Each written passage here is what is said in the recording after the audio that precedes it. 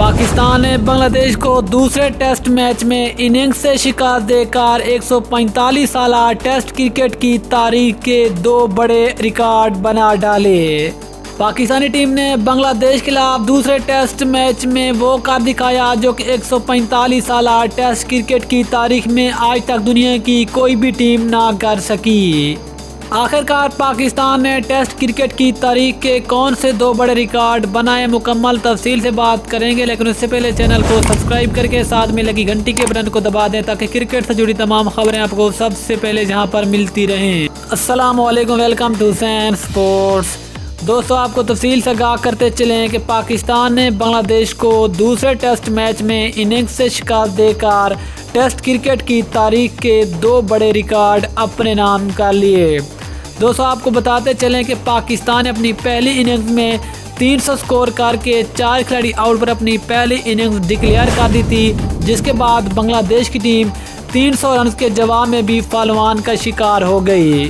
और फिर फालवान होने के बाद भी बांग्लादेश की टीम को पाकिस्तान के हाथों इनिंग्स से शिकस्त का सामना करना पड़ा, जिसके बाद पाकिस्तान दुनिया की वो पहली टेस्ट टीम बन गई जिसने 300 स्कोर करके हरीफ टीम को फलवान करके फिर भी इनिंग्स से शिका दे दी।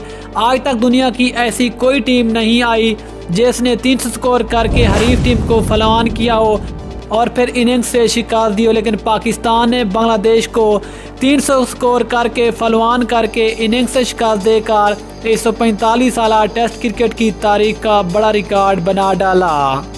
इसके अलावा दोस्तों, जो पाकिस्तान टीम ने दूसरा बड़ा रिकॉर्ड अपने नाम किए कि पाकिस्तान टेस्ट क्रिकेट की तारीख में पाँचवें रोज़ हरीफ टीम की तेरह विकटें हासिल करने वाली दुनिया की पहली टीम बन गई। टेस्ट क्रिकेट की तारीख में आज तक ऐसा कभी नहीं हुआ कि एक टीम ने हरीफ टीम की तेरह विकटें हासिल की हों, लेकिन पाकिस्तान ने पाँचवें रोज़ तेरह विकटें हासिल करके टेस्ट क्रिकेट की तारीख का एक और बड़ा रिकॉर्ड अपने नाम कर लिया। इस टेस्ट मैच के बाद बाबर आज़म की कप्तानी में पाकिस्तान ने एक सौ पैंतालीस साल टेस्ट क्रिकेट की तारीख के दो बड़े रिकॉर्ड बना डाले हैं। ये थी आज की बड़ी खबर। इंशाल्लाह मिलते हैं किसी और न्यूज़ के साथ। तब तक के लिए हाफिज़। पाकिस्तान जिंदाबाद।